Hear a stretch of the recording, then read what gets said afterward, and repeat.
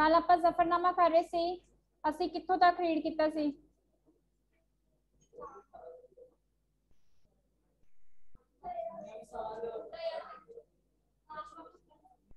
ਜਦੋਂ ਜ਼ੀਨਤ ਦੀ ਐਂਟਰੀ ਹੋ ਜਾਂਦੀ ਹੈ ਓਕੇ ਠੀਕ ਹੈ ਜ਼ੀਨਤ ਦੀ ਐਂਟਰੀ ਹੁੰਦੀ ਹੈ ਉਹ ਆਪਣੇ ਪਿਤਾ ਦੀਆਂ ਚੀਕਾਂ ਸੁਣਦੀ ਹੈ ਤੇ ਉਹਦੀ ਅਹ, ਜਿਹੜੀ ਔਰੰਗਜ਼ੇਬ ਦੀ ਪਤਨੀ ਹੈ ਬੇਗਮ ਉਦੇਪੁਰੀ ਉਹ ਆਪਣੀ ਬੇਟੀ ਨੂੰ ਜ਼ੀਨਤ ਨੂੰ ਕਮਰੇ ਵਿੱਚ ਭੇਜ ਦਿਆ ਠੀਕ ਹੈ? ਫਿਰ ਜ਼ੀਨਤ ਕਹਿੰਦੀ ਹੈ ਕਿ ਨੀਰ ਮੁੰਸ਼ੀ ओके ਆਸਤ ਖਾਨ ਤੇ ਹੀ ਆਪਾਂ, ਠੀਕ ਹੈ? ਓਕੇ ਆਸਤ ਖਾਨ ਜਿਹੜਾ ਹੈ, ਉਹ ਔਰੰਗਜ਼ੇਬ ਨੂੰ ਕਹਿੰਦਾ ਹੈ ਕਿ ਆਪਣੇ ਜਿਹੜੇ ਦੋ ਜਿਨ੍ਹਾਂ ਤੇ ਤੁਸੀਂ ਭਰੋਸਾ ਕਰ ਸਕਦੇ ਹੋ, ਮੀਰ ਮੁੰਸ਼ੀ ਤੇ ਭਾਈ ਦਇਆ ਸਿੰਘ ਨੂੰ ਭੇਜੋ ਕਿਹਦੇ ਕੋਲ? ਔਰੰਗਜ਼ੇਬ ਕੋਲ। ਕੀ ਕਰਨ ਲਈ? ਕਿਹਦੇ ਕੋਲ ਭੇਜਣਾ? ਕਿਉਂ ਭੇਜਣਾ? ਚਿੱਠੀ ਲੈ ਕੇ ਸ੍ਰੀ ਗੁਰੂ ਗੋਬਿੰਦ ਸਿੰਘ ਜੀ ਕੋਲ ਚਿੱਠੀ ਲੈ ਕੇ ਕਿਉਂਕਿ ਉਹਨਾਂ ਤੇ ਹੀ ਉਹ ਭਰੋਸਾ ਕਰਦਾ ਸੀ ਤੇ ਜਿਹੜਾ ਭਾਈ ਦਇਆ ਸਿੰਘ ਸੀ ਉਹ ਹੀ ਚਿੱਠੀ ਲੈ ਕੇ ਗੁਰੂ ਜੀ ਦੀ ਔਰੰਗਜ਼ੇਬ ਕੋਲ ਆਇਆ ਸੀ ਠੀਕ ਹੈ? ਸੋ ਉਸ ਤੋਂ ਬਾਅਦ ਵਿੱਚ ਉਹ ਅਸਤ ਖਾਨ ਨੂੰ ਦੱਸਦਾ ਹੈ ਕਿ ਕਿਸ ਤਰ੍ਹਾਂ ਉਹਦੇ ਕੋਲ ਇੰਨੇ ਸਾਰੇ ਗੁਨਾਹ ਹੋਏ ਨੇ ਠੀਕ ਹੈ? ਕਿ ਕਿਸ ਤਰ੍ਹਾਂ ਉਹਨੇ ਅਹ, ਸ੍ਰੀ ਗੁਰੂ ਤੇਗ ਬਹਾਦਰ ਜੀ ਨੂੰ ਸ਼ਹੀਦ ਕਰਵਾਇਆ ਚਾਂਦਨੀ ਚੌਂਕ ਵਿੱਚ, ਠੀਕ ਹੈ? ਉਸ ਤੋਂ ਬਾਅਦ ਵਿੱਚ ਜਿਹੜੇ ਉਹਨਾਂ ਦੇ ਦੋ ਛੋਟੇ ਸਾਹਿਬਜ਼ਾਦੇ ਸੀਗੇ, ਉਹਨਾਂ ਨੂੰ ਨੀਹਾਂ ਵਿੱਚ ਚਣਵਾਇਆ ਗਿਆ। ਫਿਰ ਉਹ ਇਹ ਵੀ ਗੱਲ ਕਬੂਲਦਾ ਹੈ ਕਿ ਮੈਂ ਉਹਨਾਂ ਨੂੰ ਮਾਰਨ ਦਾ ਹੁਕਮ ਨਹੀਂ ਸੀ ਦਿੱਤਾ। ਵਜ਼ੀਰ ਖਾਨ ਨੇ ਕਿਸ ਦੇ ਨਾਂ ਤੇ ਝੂਠੀਆਂ ਕਸਮਾਂ ਖਾਧੀਆਂ ਸੀ? ਔਰੰਗਜ਼ੇਬ ਦੇ ਨਾਮ ਤੇ ਉਹਨੇ ਝੂਠੀਆਂ ਕਸਮਾਂ ਖਾਧੀਆਂ, ਠੀਕ ਹੈ? ਉਹ ਕਹਿੰਦਾ ਕਿ ਉਹਨੇ ਜਿਹੜਾ ਧਰਮ ਹੈ ਉਹਨੂੰ ਬਦਨਾਮ ਕੀਤਾ ਹੈ। ਉਹਦੀ ਉਹਦੀ ਕੋਈ ਉਹਨੇ ਆਗਿਆ ਦਾ ਪਾਲਣ ਨਹੀਂ ਕੀਤਾ, ਠੀਕ ਹੈ? ਫਿਰ ਅਸਤ ਖਾਨ ਉਹਨੂੰ ਸਮਝਾਉਂਦਾ ਹੈ ਕਿ ਤੁਸੀਂ ਗੁਰੂ ਗੋਬਿੰਦ ਸਿੰਘ ਜੀ ਨੂੰ ਮਿਲੋ, ਠੀਕ ਹੈ?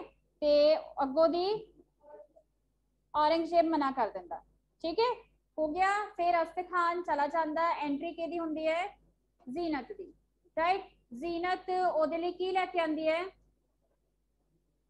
ਪਾਣੀ ਦਾ ਗਿਲਾਸ ਕਿਉਂ ਲੈ ਕੇ ਆਂਦੀ ਹੈ?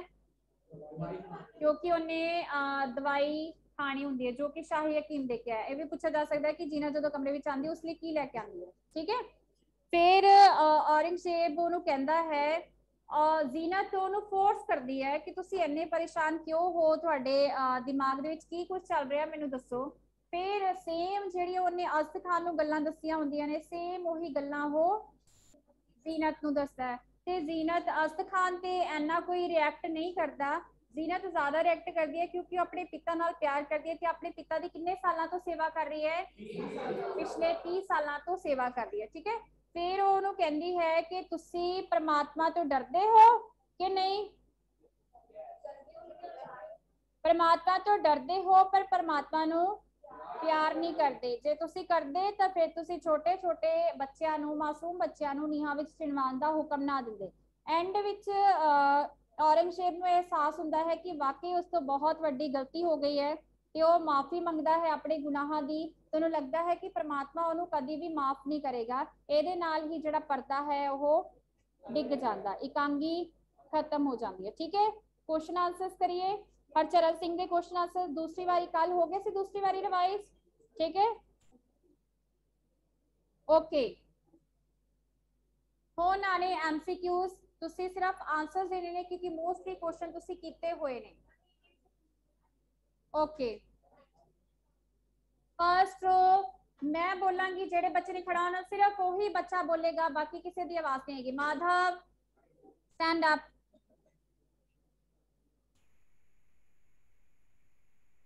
ਪਰਦਾ ਉੱਠਣ ਸਮੇਂ ਕਿਸ ਦੀ ਆਵਾਜ਼ ਸੁਣਾਈ ਦਿੰਦੀ ਹੈ ਕੱਲ ਆਪਾਂ ਡਿਸਕਸ ਕੀਤਾ ਸੀ ਇਹ ਪਰਦਾ ਉੱਠਣ ਸਮੇਂ ਕਿਸ ਦੀ ਆਵਾਜ਼ ਸੁਣਾਈ ਦਿੰਦੀ ਹੈ? ਆਪਸ਼ਨਸ ਹਨੇਰੀ ਚੱਖੜ ਦੀ, ਸੰਗੀਤ ਦੀ, ਲੜਾਈ ਦੀ ਜਾਂ ਨਾਰਿਆਂ ਦੀ? ਹਨੇਰੀ ਝੱਖੜ ਦੀ? ਹਮ ਠੀਕ ਹੈ, ਬੈਠੋ। ਰਾਈਟ ਔਰੰਗਜ਼ੇਬ ਸ਼ਾਹੀ ਮਹਲ ਦਰਬਾਰ ਵਿੱਚ ਕਿਸ ਦੀ ਸਖਤ ਮਨਾਹੀ ਹੋਣ ਕਾਰਨ ਇਸ ਨੂੰ ਬੰਦ ਕਰਨ ਲਈ ਕਹਿੰਦਾ ਹੈ। ਜਦੋਂ ਸਟਾਰਟਿੰਗ ਵਿੱਚ ਪਹਿਲਾ ਪਰਦਾ ਉੱਠਿਆ, ਪਹਿਲਾ ਔਰੰਗਜ਼ੇਬ ਦੀ ਫਿਜ਼ੀਕਲ ਅਪੀਅਰੈਂਸ ਦੱਸੀ ਹੋਈ ਆ। ਕੱਦ ਮਦਰਾ ਸਰੀਰ ਝੁਕਿਆ ਹੋਇਆ, ਕਮਜ਼ੋਰ ਹੈ, ਠੀਕ ਹੈ, ਔਰ ਉਹਦੇ ਕਮਰਬੰਦ ਵਿੱਚ ਕੀ ਹੈ? ਖੰਜਰ। ਸੱਜੇ ਹੱਥ ਵਿੱਚ ਕੀ ਹੈ? ਸੋਟੀ ਖੱਬੇ ਹੱਥ ਵਿੱਚ ਕੀ ਹੈ? ਖੰਜਰ, ਠੀਕ ਹੈ। ਸਮਾਂ ਕਿਹੜਾ ਹੈ? ਸਵੇਰ ਸਥਾਨ ਕਿਹੜਾ ਹੈ? ਸਨ ਕਿਹੜਾ ਹੈ? ਠੀਕ ਹੈ, ਗੁੱਡ। ਰਾਈਟ ਔਰੰਗਜ਼ੇਬ ਸ਼ਾਹੀ ਮਹਿਲ ਅਰਿਆਂਸ਼ ਔਰੰਗਜ਼ੇਬ ਸ਼ਾਹੀ ਮਹਿਲ ਦਰਬਾਰ ਵਿੱਚ ਕਿਸ ਦੀ ਸਖਤ ਮਨਾਹੀ ਹੋਣ ਕਾਰਨ ਇਸ ਨੂੰ ਬੰਦ ਕਰਨ ਲਈ ਕਹਿੰਦਾ ਹੈ? ਫਸਟ ਰੋਲੇ ਰੱਪੇ ਨੂੰ। ਸੈਕਿੰਡ ਰੰਗ ਅਤੇ ਰਾਗ ਨੂੰ। ਥਰਡ ਨਾਰਿਆਂ ਨੂੰ ਜਾਂ ਜਲੂਸ ਨੂੰ? ਸਹੀ ਆਪਸ਼ਨ ਆਪਸ਼ਨ ਨੰਬਰ ਸੈਕਿੰਡ ਰੰਗ ਅਤੇ ਰਾਗ ਨੂੰ, ਕਿਉਂਕਿ ਉਹਨੂੰ ਜ਼ਿੰਦਗੀ ਦੇ ਰੰਗ ਤਮਾਸ਼ੇ ਚੰਗੇ ਹੀ ਨਹੀਂ ਲੱਗਦੇ। ਆਵਾਜ਼ ਵੀ ਇਹੀ ਕਹਿੰਦੀ ਸੀ ਨਾ, ਉਹਨੂੰ ਸ਼ੋਰ ਸ਼ਰਾਬਾ ਬਿਲਕੁਲ ਪਸੰਦ ਨਹੀਂ ਹੈ। ਨੈਕਸਟ ਇਹ ਬਹੁਤ ਵਾਰੀ ਕਰ ਚੁੱਕੇ ਆਪਾਂ। ਮੁਗਲ ਤਖਤੋ ਤਾਜ ਲਈ ਕਿਸ ਵਿੱਚ ਸ਼ਿਖਾਨਾ ਜੰਗੀ ਸ਼ੁਰੂ ਹੋਈ ਸੀ। ਔਰੰਗਜ਼ੇਬ ਦੇ ਬੇਟਿਆਂ ਵਿਚਕਾਰ।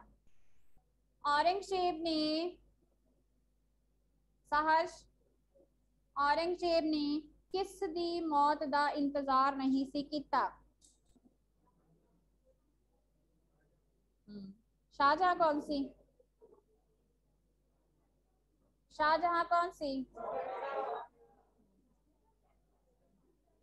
ਔਰੰਗਜ਼ੇਬ ਨੇ ਕਿੰਨੇ ਸਾਲਾਂ ਤੱਕ ਪ੍ਰਜਾ ਦਾ ਚੈਨ ਹੋਇਆ ਸੀ 50 ਸਾਲ ਹੁਣ ਦੇਖੋ ਆਪਸ਼ਨ ਵਿੱਚ ਨਾ ਇੱਥੇ 50 ਹੈ ਵੈਸੇ ਬੁੱਕ ਵਿੱਚ 48 ਤੋਂ 50 ਹੈ ਠੀਕ ਹੈ ਹੁਣ ਇੱਥੇ ਆਪਸ਼ਨ ਵਿੱਚ 20 ਸਾਲ 40 ਸਾਲ 30 ਸਾਲ ਜਾਂ 50 ਸਾਲ ਰਾਈਟ ਹੁਣ ਇੱਕ ਹੋਰ ਕੁਐਸਚਨ ਏਦਾਂ ਦਾ ਆਏਗਾ ਜਿਹਦੇ ਵਿੱਚ 50 ਸਾਲ ਨਹੀਂ ਲਿਖਿਆ ਹੋਏਗਾ ਆਪਸ਼ਨ ਤੇ ਡਿਪੈਂਡ ਕਰ ਰਿਹਾ ਹੈ।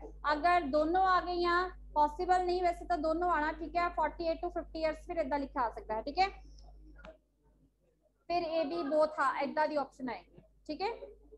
ਪੰਜਾਬ ਵਿੱਚ ਸੂਰਮੇ ਮੁੜ ਕਿਸ ਦੇ ਝੰਡੇ ਹੇਠ ਇਕੱਠੇ ਹੋ ਗਏ? ਸਖ ਗੁਰੂ ਜੀ ਦੇ। ਮੁਗਲਾਂ ਨੂੰ ਦੱਖਣ ਵਿੱਚੋਂ ਕੱਢਣ ਲਈ ਕੌਣ ਮਹਾਰਾਸ਼ਟਰ ਵਿੱਚ ਉੱਠ ਖੜਾ ਹੋਇਆ ਸੀ?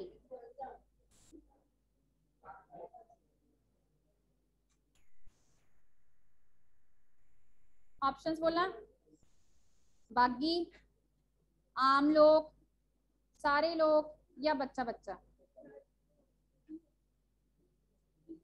ਹਮ ਬੋਲੋ। ਬੱਚਾ ਬੱਚਾ। ठीक है यहाँ क्वेश्चन उल्टा हो सकता है ਕਿ ਬੱਚਾ ਬੱਚਾ ਮੁਗਲਾਂ ਨੂੰ ਕਿੱਥੋਂ ਕੱਢਣ ਲਈ ਤਿਆਰ ਹੋ ਗਿਆ ਮਹਾਰਾਸ਼ਟਰ ਵਿੱਚੋਂ ਜਾਂ ਮਹਾਰਾਸ਼ਟਰ ਵਿੱਚੋਂ ਦੀ ਕਿਸ ਨੂੰ ਬੱਚਾ ਬੱਚਾ ਠੀਕ ਹੈ ਆ ਇੱਕ ਨਾ ਕੁਐਸਚਨ ਹੈ ਉਹ ਮੈਂ 10 ਸੀਚ ਕਰਵਾ ਕੇ ਆਈ ਸੀ ਕੱਲ ਉਹ ਅੱਗੇ ਆਏਗਾ ਕਿ ਜ਼ੀਨਤ ਦੀ ਤਰ੍ਹਾਂ ਇੱਕ ਪਰਸਨ ਸੀ ਉਹ ਗੁਰੂ ਜੀ ਦੇ ਹੱਕ ਵਿੱਚ ਬੋਲਦਾ ਸੀ ਉਹਦਾ ਨਾਮ ਕੀ ਹੈ ਠੀਕ ਹੈ ਮੌਜ਼ਮ ਓਕੇ ਔਰ ਇੱਕ ਹੋਰ ਸੀ ਤੁਹਾਡੇ ਉਹੀ ਪੇਜ ਤੇ। ਜਦੋਂ ਨਾ ਔਰੰਗਜ਼ੇਬ ਬੋਲਦਾ ਹੈ ਕਿ ਤੂੰ ਤੇ ਇੱਕ ਹੋਰ ਕੌਣ ਸੀ? ਜ਼ੀਨਤ। ਤੁਸੀਂ ਦੋਨੋਂ ਗੁਰੂ ਜੀ ਦੇ ਹੱਕ ਵਿੱਚ ਬੋਲਦੇ ਹੋ, ਪਰ ਉਹ ਅਸਰ ਕਿਸ ਦਾ ਹੈ? ਇਫੈਕਟ ਕਿਸ ਦਾ ਹੈ? ਇੱਕ ਪਰਸਨ ਦਾ ਨਾਮ ਆਇਆ ਉੱਥੇ। ਮੌਜ਼ਮ ਤੇ ਜ਼ੀਨਤ ਗੁਰੂ ਜੀ ਦੇ ਹੱਕ ਵਿੱਚ ਬੋਲਦੇ ਸਨ, ਠੀਕ ਹੈ? ਪਰ ਗੁਰੂ ਜੀ ਦੇ ਹੱਕ ਕਹਿੰਦੇ ਹੁੰਦੇ ਨਾ ਕਿ ਗੁੱਡ ਨੰਦ ਲਾਲ ਗੋਇਆ।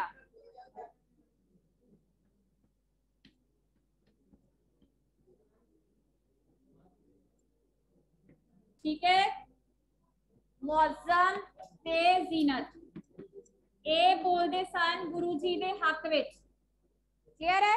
ਪਰ ਅਸਰ ਕਿਹਦਾ ਸੀ? ਇਹਦਾ ਸੀ ਨੰਦ ਲਾਲ ਗੋਆ ਦਾ। ਤੁਹਾਡੀ ਬੁੱਕ ਤੇ ਲਿਖਿਆ ਹੋਇਆ ਹੈ ਪੇਜ ਨੰਬਰ ਆਈ ਥਿੰਕ 106 ਔਰ 111 ਹਾਂਜੀ, ਇਹਦੇ ਕਰਕੇ ਬੋਲਦੇ ਸੀ, ਇਹ ਮਤਲਬ ਕਿ ਜ਼ਫਰਨਾਮਾ ਦੇ ਵਿੱਚ ਇਹਦਾ ਕੋਈ ਡਾਇਲੋਗ ਨਹੀਂ ਹੈ, ਸਿਰਫ ਇੱਕ ਨਾਮ ਹੀ ਹੈ। ਮੇ ਵੀ ਇਹ ਵੀ ਗੁਰੂ ਜੀ ਨੂੰ ਮੰਨਦਾ ਹੋਏ ਤਾਂ ਉਹਦੇ ਅਸਰ ਕਰਕੇ ਫਿਰ ਇਹ ਵੀ ਦੋਨੋਂ ਮੰਨਦੇ ਸੀਗੇ। ਠੀਕ ਹੈ? ਨਹੀਂ, ਇਕੱਠਾ ਹੀ ਨਾਮ ਹੈ ਸਰ ਨੇ ਆਈ ਥਿੰਕ 106 ਔਰ 111 ਕੁਐਸਚਨ ਕਿਸ ਫਾਰਮ ਚ ਆ ਸਕਦਾ ਹੈ? ਕਿ ਕਿਸ ਦੇ ਅਸਰ ਕਰਕੇ ਜ਼ੀਨਤ ਜਾਂ ਮੌਜ਼ਮ ਗੁਰੂ ਜੀ ਦੇ ਹੱਕ ਵਿੱਚ ਬੋਲਦੇ ਸਨ? ਨੰਦ ਲਾਲ ਗੋਆ, ਠੀਕ ਹੈ? ਜਾਂ ਨੰਦ ਲਾਲ ਗੋਆ ਦੇ ਅਸਰ ਕਰਕੇ ਕੌਣ ਗੁਰੂ ਜੀ ਦੇ ਹੱਕ ਵਿੱਚ ਬੋਲਦਾ ਸੀ? ਜ਼ੀਨਤ ਅਤੇ ਮੌਜ਼ਮ ਠੀਕ ਹੈ? ਇਹ ਕੁਐਸਚਨ ਆਪਾਂ ਨਹੀਂ ਕੀਤਾ ਹੋਇਆ, ਸੋ ਤੁਸੀਂ ਇਹਨੂੰ ਐਡ ਕਰ ਲਓ। ਕਲੀਅਰ ਹੈ? ਆਨਲਾਈਨ ਸਟੂਡੈਂਟਸ ਨੋਟ ਕਰ ਲਓ ਬੱਚੇ ਨੂੰ ਵੀ। ਓਕੇ ਹੁਣ ਇਹਦੇ ਵਿੱਚ ਦੇਖੋ ਆਪਸ਼ਨਸ ਔਰੰਗਜ਼ੇਬ ਅਨੁਸਾਰ ਉਸਨੇ ਮੁਗਲ ਸਲਤਨਤ ਨੂੰ ਮਜ਼ਬੂਤ ਕਰਨ ਲਈ ਕਿੰਨੇ ਸਾਲ ਦਿਨ ਰਾਤ ਇੱਕ ਕੀਤਾ?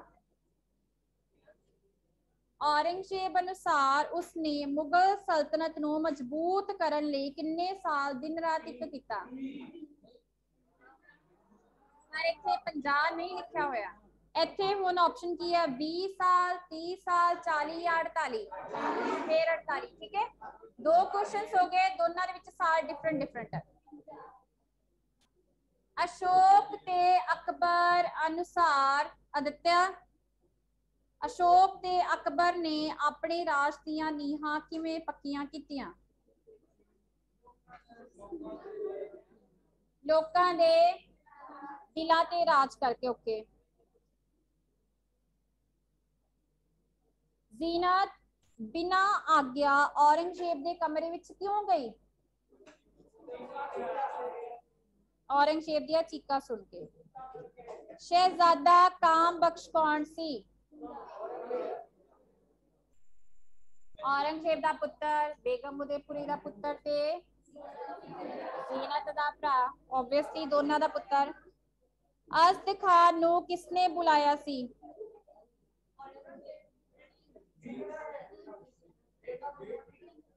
ਅਸਦ ਖਾਨ ਨੂੰ ਕਿਸਨੇ ਬੁਲਾਇਆ ਸੀ ਆਪਸ਼ਨਸ ਔਰੰਗਜ਼ੇਬ ਨੇ ਸ਼ਹਿਜ਼ਾਦਾ ਕਾਮ ਬਖਸ਼ ਨੇ ਬੇਟੀ ਜ਼ੀਨਤ ਨੇ ਜਾਂ ਫੌਜਦਾਰ ਸੈਦ ਖਾਨ ਨੇ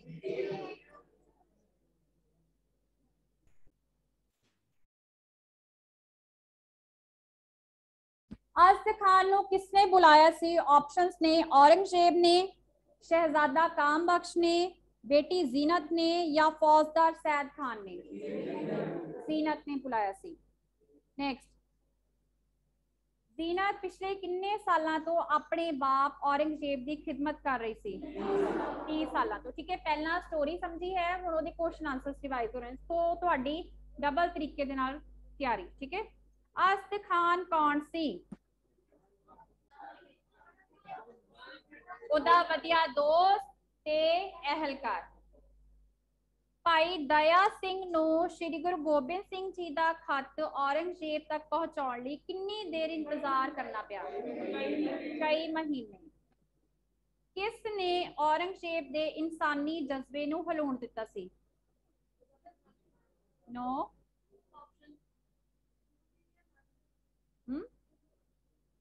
ਬੇਗਮ ਉਦੈਪੁਰੀ ਨੇ ਅਸਤ ਖਾਨ ਨੇ ਜ਼ਫਰਨਾਮੇ ਨੇ ਜ਼ਫਰਨਾਮੇ ਕਿਉਂਕਿ ਉਹਨੂੰ ਜਦੋਂ ਪੜਿਆ ਸੀ ਤਾਂ ਉਹਨੂੰ ਰਿਅਲਾਈਜ਼ ਹੋ ਰਿਹਾ ਸੀਗਾ ਕਿ ਮੈਂ ਬਹੁਤ ਗਲਤ ਕੰਮ ਕੀਤਾ ਹੈ ਕਿਸ ਨੇ ਔਰੰਗਜ਼ੇਬ ਦੇ ਨਾਂ ਤੇ ਕੁਰਾਨ ਸ਼ਰੀਫ ਦੀਆਂ ਝੂਠੀਆਂ ਕਸਮਾਂ ਖਾਧੀਆਂ ਔਰੰਗਜ਼ੇਬ ਅਨੁਸਾਰ ਕਿਸ ਨੇ ਉਸ ਦਾ ਨਾਮ ਬਦਨਾਮ ਕੀਤਾ ਵਜ਼ੀਰ ਖਾਨ ਪੰਜਾਬ ਵਿੱਚ ਕਿਸ ਨੇ ਸਿੱਖਾਂ ਨੂੰ ਕਾਬੂ ਵਿੱਚ ਰੱਖਿਆ ਹੋਇਆ ਸੀ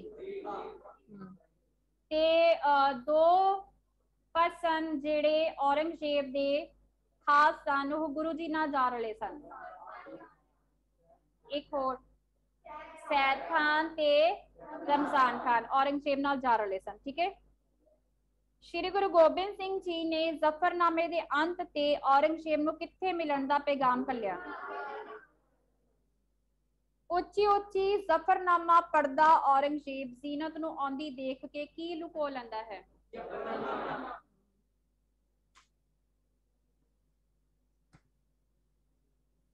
ਔਰੰਗਜ਼ੇਬ ਦੇ ਆਪਣੇ ਕਹਿਣ ਅਨੁਸਾਰ ਉਸ ਹੱਥੋਂ ਕਿਸ ਨਾਲ ਸਖਤ ਧੋਖਾ ਹੋਇਆ ਸੀ? ਹਮ, ਸ੍ਰੀ ਗੁਰੂ ਗੋਬਿੰਦ ਸਿੰਘ ਜੀ ਦੇ ਨਾਲ।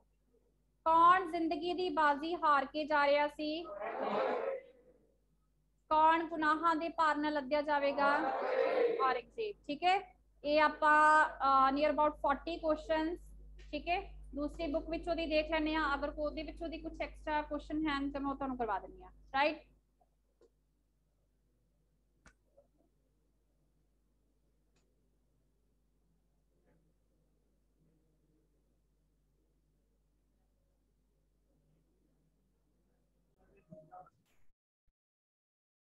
ਸਿੱਖ ਮੁਗਲ ਫੌਜਾਂ ਨੂੰ ਕਿੱਥੇ ਹਾਰ ਦੇ ਚੁੱਕੇ ਸਨ? ਹਾਂਜੀ, ਖਿਦਰਾੜੇ ਦੀ ਢਾਬ ਲੱਗੇ।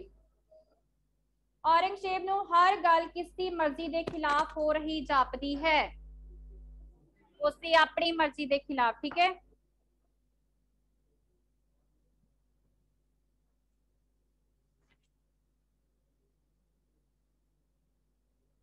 ਕਿਸ ਨੇ ਆਪਣੇ ਤਿੰਨਾਂ ਭਰਾਵਾਂ ਨੂੰ ਮਾਰ ਦਿੱਤਾ ਸੀ?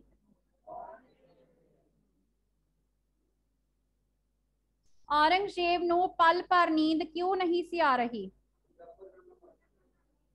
ਨੋ ਉਹਨੇ ਉਹਨੇ ਇੱਕ ਨਾ ਭਿਆਨਕ ਸੁਪਨਾ ਦੇਖਿਆ ਸੀ, ਉਹਦੇ ਕਰਕੇ, ਠੀਕ ਹੈ? ਆਨਸਰ ਇਹਦਾ ਸਹੀ ਲਿਖ ਲਈਓ।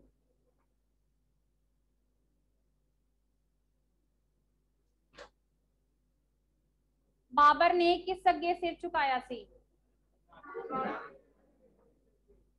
ਔਰੰਗਜ਼ੇਬ ਵਜ਼ੀਰ ਖਾਨ ਦੁਆਰਾ ਗੁਰੂ ਸਾਹਿਬ ਉੱਤੇ ਕੀਤੇ ਜ਼ੁਲਮਾਂ ਸਾਹਮਣੇ ਆਪਣੇ ਆਪ ਨੂੰ ਕੀ ਸਮਝਦਾ ਹੈ? औरंगज़ेब वज़ीर खान द्वारा गुरु साहेब उत्ते सामने अपने आप की समझदा है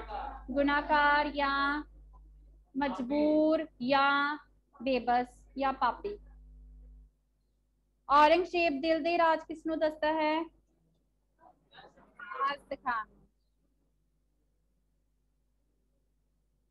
औरंगज़ेब किस से नशे विचन्ना हो चुका है? हकूमत। गद्दी भी हो सकता है हुकूमत भी हो सकता है ठीक है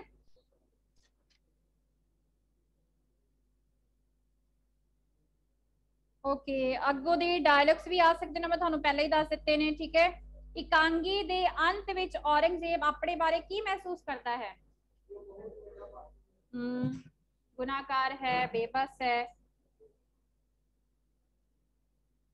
ਰਾਈਟ ਹੋਰ ਅਗਰ ਕਿਸੇ ਨੂੰ ਕੋਈ ਡਾਊਟ ਹੋਏ, ਇਕਾਂਗੀ ਦੇ ਵਿੱਚ ਤਾਂ ਮੈਨੂੰ ਹੁਣੇ ਪੁੱਛ ਲਓ। ਰਾਈਟਰ ਦੇ ਬਾਰੇ ਹੋ ਗਿਆ ਕੁਐਸਚਨ ਆਨਸਰਸ ਹੋ ਗਏ ਐਕਸਟਰਾ ਕੁਐਸਚਨਸ ਵੀ ਹੋ ਗਏ, ਠੀਕ ਹੈ? ਅਗਰ ਕਿਸੇ ਨੂੰ ਕੋਈ ਵੀ ਡਾਊਟ ਹੈ, ਹੱਲੇ ਵੀ ਤਾਂ ਕਲੀਅਰ ਕਰ ਲਓ।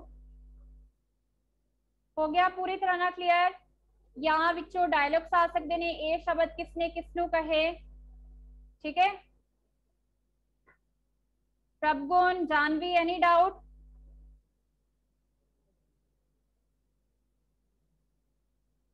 okay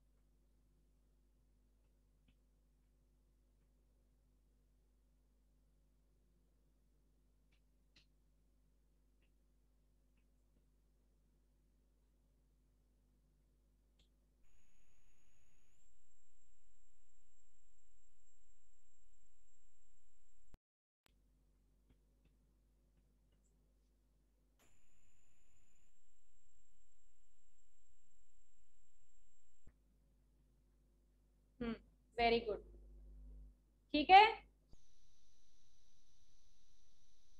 राइट सी पहला है अ, शब्द रचना ठीक है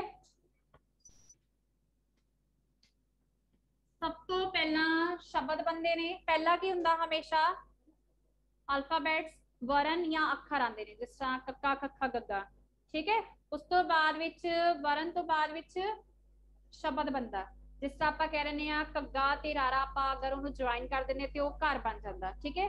ਕ, ਮ, ਲ, ਕਮਲ ਹੋ ਗਿਆ, ਠੀਕ ਹੈ? ਉਹ ਬਣ ਗਿਆ ਸ਼ਬਦ ਰਾਈਟ ਹੁਣ ਸ਼ਬਦ ਦੇ ਵਿੱਚ ਇੱਕ ਮੂਲ ਹੁੰਦਾ ਤੇ ਦੂਸਰਾ ਕਿਹੜਾ ਹੁੰਦਾ? ਰਚਿਤ ਸ਼ਬਦ। ਮੂਲ ਸ਼ਬਦ ਕਿਹੜਾ ਹੁੰਦਾ ਆ? ਹਰਸ਼ਦੀਪ? ਠੀਕ ਹੈ ਗੁੱਡ ਜਿਹੜਾ ਆਪਣੇ ਆਪ ਵਿੱਚ ਕੰਪਲੀਟ ਹੋਵੇ, ਜਿਹਨੂੰ ਅਸੀਂ ਅੱਗੋਂ ਤੋੜ ਹੀ ਨਹੀਂ ਸਕਦੇ। ਫੋਰ ਐਗਜ਼ਾਮਪਲ ਆ ਲਾਈਕ ਦਿਸ ਦਾ ਘਰ ਹੋ ਗਿਆ। ਅਸੀਂ ਇਹਨੂੰ ਤੋੜ ਸਕਦੇ ਆ ਅਸੀਂ ਇਹਨੂੰ ਤੋੜਾਂਗੇ ਤੇ ਕੱਗਾ ਪਲਸ ਰਾਰਾ ਹੋ ਗਿਆ। ਫੇ ਤਾਂ ਉਹ ਸ਼ਬਦ ਥੋੜੀ ਰਹਿ ਗਿਆ।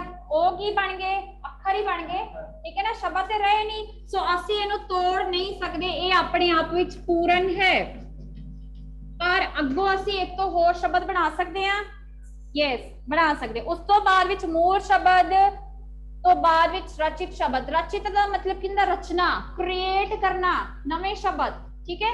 ਰਚਿਤ ਸ਼ਬਦ ਦੇ ਵਿੱਚ ਆਪਾਂ ਕੀ ਕਰਦੇ ਹਾਂ?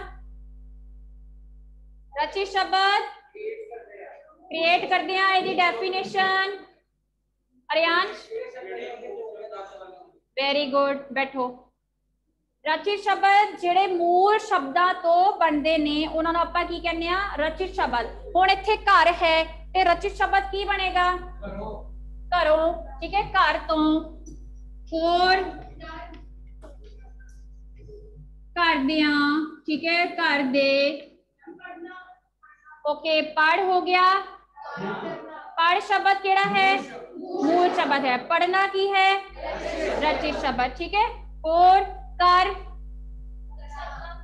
ਕਰ ਤੋਂ ਕਰਨਾ ਕਰਦੀਆਂ ਕਰਦੇ ਇਹ ਸਾਰੇ ਕੀ ਨੇ ਅੱਗੋ ਰਚਿਤ ਸ਼ਬਦ ਦੋ ਕਲੀਅਰ ਨੇ ਮਾਧਵ ਕਲੀਅਰ ਹੈ ਸ਼ੋਰ ਓਕੇ ਕਲੀਅਰ ਦੋ ਉਸ ਤੋਂ ਬਾਅਦ ਵਿੱਚ ਰਚਿਤ ਸ਼ਬਦ ਦੋ ਅੱਗੋਂ ਦੀ ਡਿਵਾਈਡ ਹੁੰਦੇ ਨੇ ਪਹਿਲਾ ਹੈ ਸਮਾਸੀ ਦੂਸਰਾ ਹੈ ਉਤਪਨ ਠੀਕ ਹੈ ਸਮਾਸੀ ਜਿਹੜਾ ਸਾਡਾ ਟੌਪਿਕ ਹੈ ਸਮਾਸੀ ਸ਼ਬਦ ਕਿਹਨੂੰ ਕਹਿੰਦੇ ਆ ਅਦਿੱਤਿਆ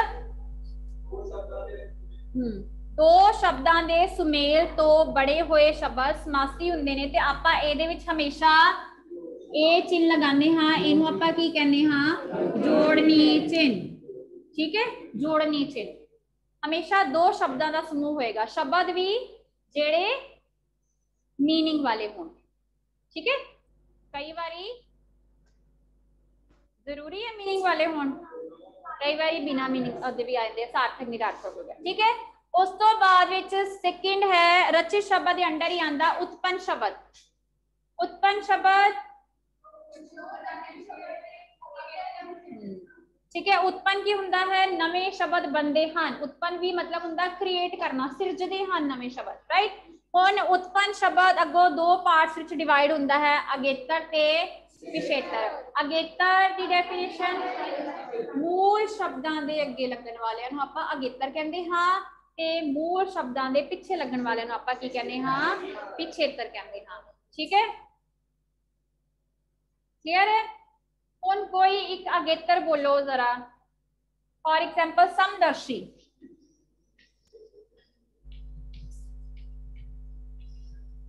मूल शब्द केड़ा होगा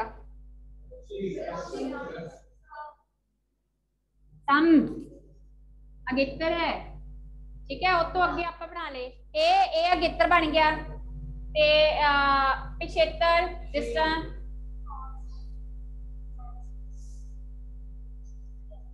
ਪਿਛੇਤਰ ਇਹਦੇ ਵਿੱਚ ਨਹੀਂ ਵੈਸੇ ਬੋਲੋ ਕਲਾਕਾਰ ਕਾਰ ਜਿਹੜਾ ਹੈ ਉਹ ਪਿਛੇਤਰ ਹੈ ਮੂਲ ਸ਼ਬਦ ਦੇ ਪਿੱਛੇ ਲੱਗਣ ਵਾਲਾ ਤੇ ਮੂਲ ਸ਼ਬਦ ਦੇ ਅੱਗੇ ਲੱਗਣ ਵਾਲਾ ਠੀਕ ਹੈ ਇਹ ਅੱਗੇ ਹੈ ਤੇ ਕਲੀਅਰ ਹੈ ਡਨ ਹੁਣ ਇੱਕ ਦੇਖੋ ਤੁਹਾਨੂੰ ਅਹ, ਆਇਆ ਸੀ ਆਈ ਥਿੰਕ ਟੈਸਟ ਦੇ ਵਿੱਚ ਹੀ ਆਇਆ ਸੀ ਤੁਹਾਨੂੰ ਠੀਕ ਹੈ ਕਿ ਅਹ, ਅਗੇਤਰ ਸ਼ਬਦ ਕਿਸ ਦਾ ਵਰਗ ਹੈ उत्पन्न ਦਾ ਕਿਉਂਕਿ ਇਹ ਇਹਦੇ ਅੰਡਰ ਆਇਆ ਠੀਕ ਹੈ ਅਗੇਤਰ ਸ਼ਬਦ ਉਤਪੰਨ ਸ਼ਬਦ ਦਾ ਵਰਗ ਹੈ ਉਤਪੰਨ ਸ਼ਬਦ ਕਿਸ ਦਾ ਵਰਗ ਹੈ ਰਚਿਤ ਸ਼ਬਦ ਦਾ ਸਮਾਸੀ ਕਿਸ ਦਾ ਹੈ ਰਚਿਤ ਸ਼ਬਦ ਦਾ ਪਿਛੇਤਰ ਕਿਸ ਦਾ ਹੈ ਠੀਕ ਹੈ ਕਲੀਅਰ ਹੈ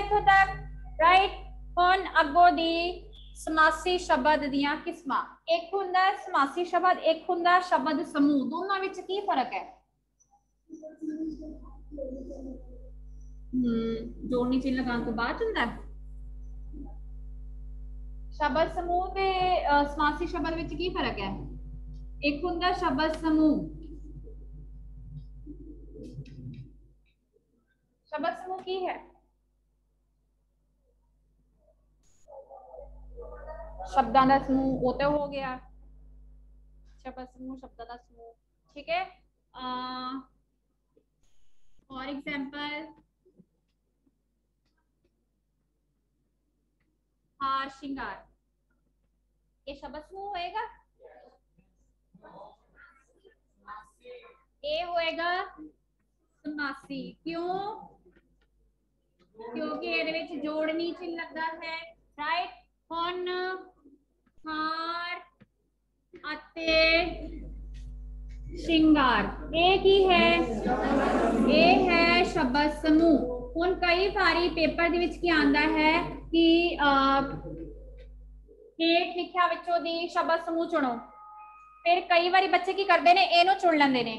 ਗਲਤ ਹੋਏਗਾ। ਜਿੱਥੇ ਜੋੜਨੀ ਚਿੰਨ੍ਹ ਹੈ ਉਹ ਹਮੇਸ਼ਾ ਸਮਾਸੀ ਹੋਏਗਾ। ਜਿੱਥੇ ਅਤੇ ਜਾਂ ਦਾ ਦੇ ਦੀ ਲੱਗਾ ਹੋਏਗਾ। ਜਾਂ ਆ, ਤੋਂ ਹੋ ਸਕਦਾ ਹੈ ਨੂੰ ਹੋ ਸਕਦਾ ਹੈ ਮਤਲਬ ਉਹ ਉੱਤੇ ਜੋੜਨੀ ਚਿੰਨ੍ਹ ਲੱਗਾ ਹੀ ਨਹੀਂ ਹੋਏਗਾ ਉਹਨਾਂ ਆਪੇ ਕੀ ਕਵਾਂਗੇ? ਸ਼ਬਦ ਸਮੂਹ ਠੀਕ ਹੈ? ਬਾਕੀ ਆਪਾਂ ਕੱਲ ਕਰਾਂਗੇ ਠੀਕ ਹੈ?